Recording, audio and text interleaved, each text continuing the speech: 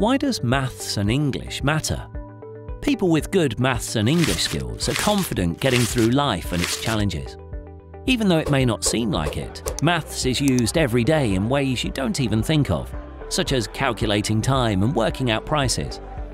English skills help you to become a confident writer and produce vital documents that stand out, such as a CV or an application form. Did you know people with poor numeracy skills are more than twice as likely to be unemployed?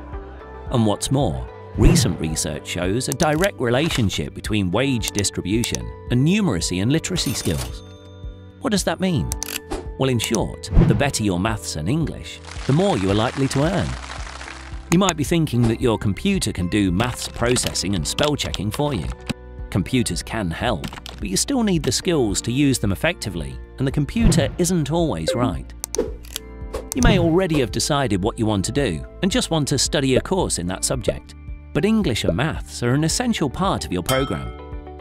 If you're looking to go to university or to secure your dream job, you're going to need good maths and English skills.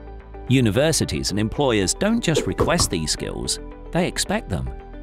You'll need maths and English on every course, in every job, and in everyday life. They are the vital building blocks of any successful career. At Trafford College, studying maths and English is different to school. You'll get lots of help and support tailored just for you. Maths, no problem. English, no problem. Get ahead. Make your maths and English matter.